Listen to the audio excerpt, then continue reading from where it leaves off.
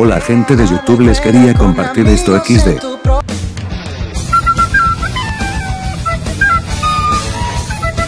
¿Coincidencia? ¡No lo creo!